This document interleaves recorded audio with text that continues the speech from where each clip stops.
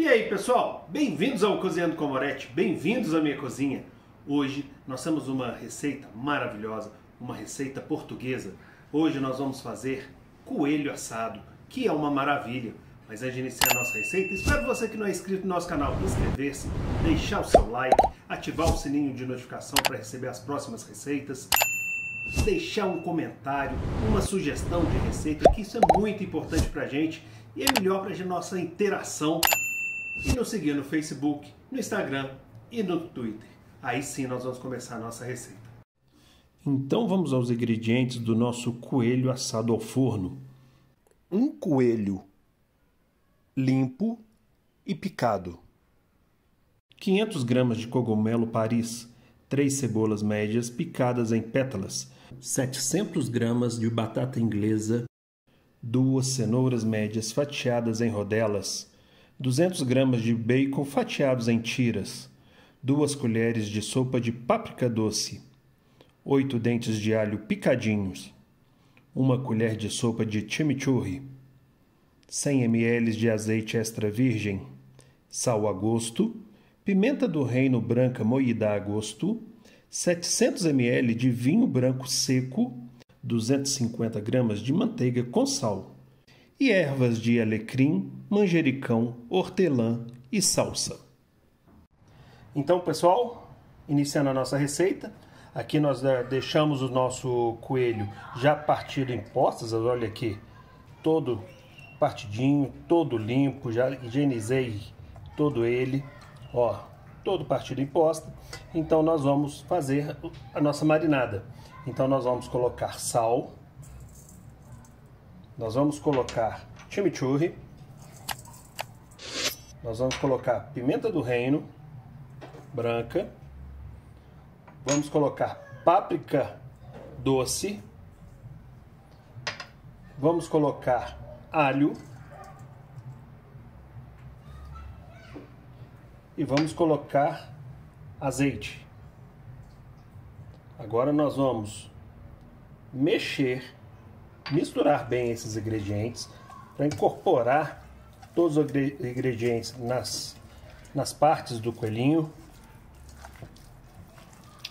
Ó, misturando bem, impregnando bem os temperos em toda a entranha do, do coelho, ó, em todas as partes, ó, em todos os pedaços, ok? Ó, olha a cor maravilhosa que vai ficando nosso coelho. Agora, pessoal, o que, que a gente faz? Vamos colocar o vinho branco. Vamos colocar todo o vinho branco aqui agora. até cobrir o nosso coelho. Misturamos e vamos deixar marinando aqui durante duas horas. Aí daqui a duas horas a gente volta com a nossa receita. Então vamos lá. Então pessoal, eu estava esquecendo de um ingrediente principal aqui na nossa marinada, que vai transferir sabores para o nosso coelho que são as ervas.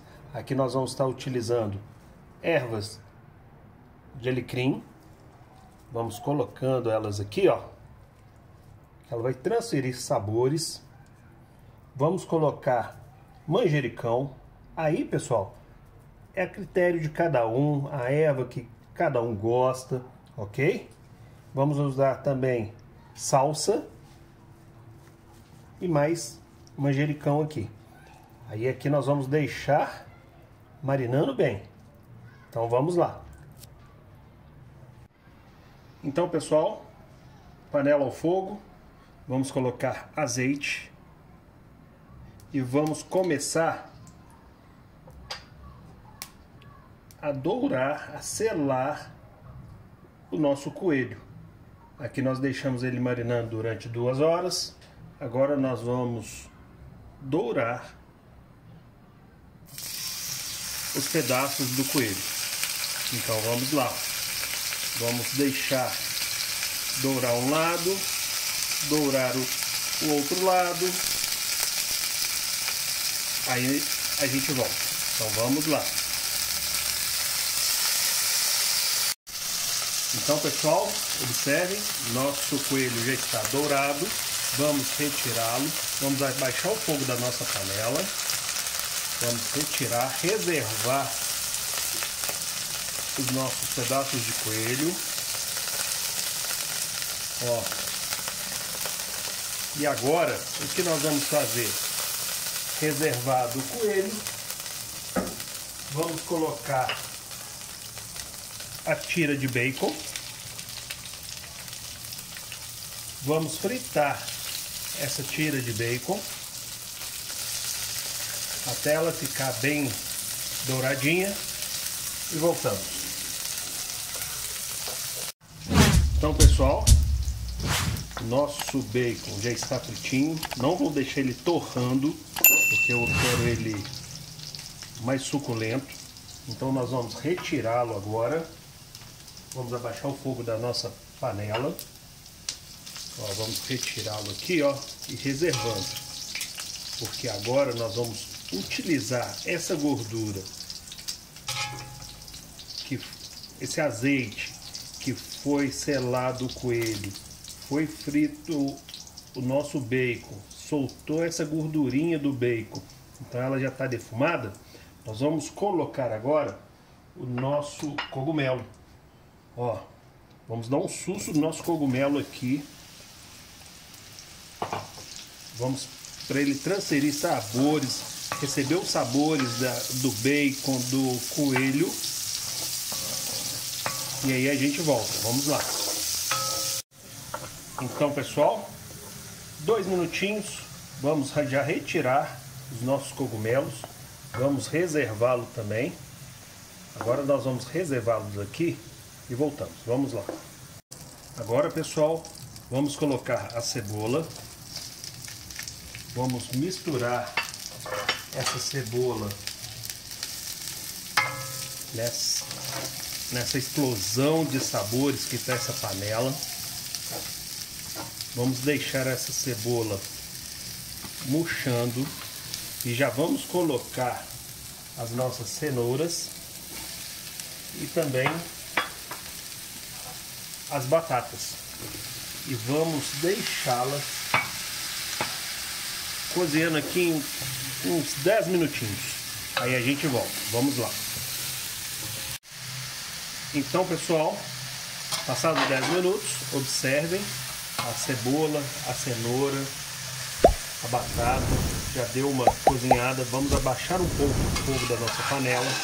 Vamos retirar esses ingredientes e já vamos colocar na nossa marinex, que será a base do cozimento do nosso coelho. Ó, vamos colocando aqui Aí agora, quando finalizarmos de colocar todos esses ingredientes aqui, a gente volta. Então vamos lá. Então pessoal, acabamos de colocar todos os nossos ingredientes aqui. Agora o que nós vamos fazer? Nós vamos pegar aquela marinada e vamos colocar na nossa panela para transferir sabores também, ó. Junto com as ervas com o alho que está na marinada e vamos deixar essa marinada fervendo um pouquinho para colocarmos sobre o nosso coelho, ok? Aqui a gente pode subir um pouco o fogo da nossa panela e vamos deixá-la ferventando um pouquinho. Então vamos então, pessoal, molho reduzido. Agora vamos apagar o fogo da nossa panela. Vamos retirar a panela do fogo com muito cuidado e vamos transferir o caldo, ó. Vamos colocando sobre o nosso coelho com as ervas, porque ela vai dar um aroma especial à nossa receita. Agora nós vamos prepará-la aqui para tamparmos com o papel alumínio. Vamos lá. Então, pessoal, nosso coelho já está preparado para ir ao forno. Então, agora nós vamos colocar o papel alumínio e deixar 40 minutos com papel alumínio, retirá-lo e deixar mais meia hora até ele ficar bem douradinho sem papel alumínio, ok? Então vamos lá e voltamos mostrando o resultado do nosso coelho. Vamos lá. Então pessoal, observem, o nosso coelho ficou pronto. Agora a gente volta montando e degustando essa maravilhosa receita. Vamos lá. Então, pessoal, receita finalizada, prato preparado. Observe os detalhes da nossa receita: a cenoura, as batatas, o bacon, o cogumelo, a cebola caramelizada. Olha que maravilha de receita, pessoal. Agora é aquela melhor hora a hora de degustarmos a nossa receita. Então, vamos pegar o talher, vamos partir o nosso coelho. Ó, olha aqui pessoal, olha com que desmancha a carne do nosso coelho. Ó, vamos virar ele aqui, ó. Olha aqui pessoal. Vamos fatiar um pedaço da nossa costela de, do coelho. Vamos pegar com cogumelo, com uma cenoura. E ó, hora, a melhor hora, a hora de degustarmos a nossa receita. Hum. Que maravilha! um sabor desse molho, aquele toque do vinho branco.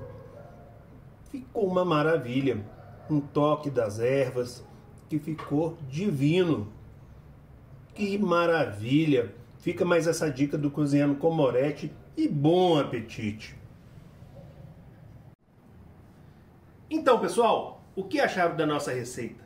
Esse coelho assado ao forno ficou divino, ficou uma maravilha um sabor excepcional do caldo, com aquele toquinho do vinho, os cogumelos, o bacon, a cebola caramelizada, aquela batata e a cenourinha bem cozidinha e aquele sabor, aquele aroma das ervas ficou divino. Fica mais essa dica do Cozinhando com Moretti. Mas antes de terminarmos, você que não é inscrito no nosso canal, inscreva-se, deixe um like, compartilhe os nossos vídeos ative o sininho de notificação para receber as próximas receitas. Deixe uma mensagem, uma sugestão de receita que eu terei o prazer de reproduzi-la aqui no nosso canal. E nos sigam no Facebook, no Instagram e no Twitter, ok? Muito obrigado, até a próxima, tchau!